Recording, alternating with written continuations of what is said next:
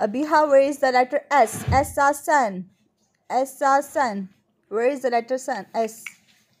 Good. Where is the letter H? H a horse.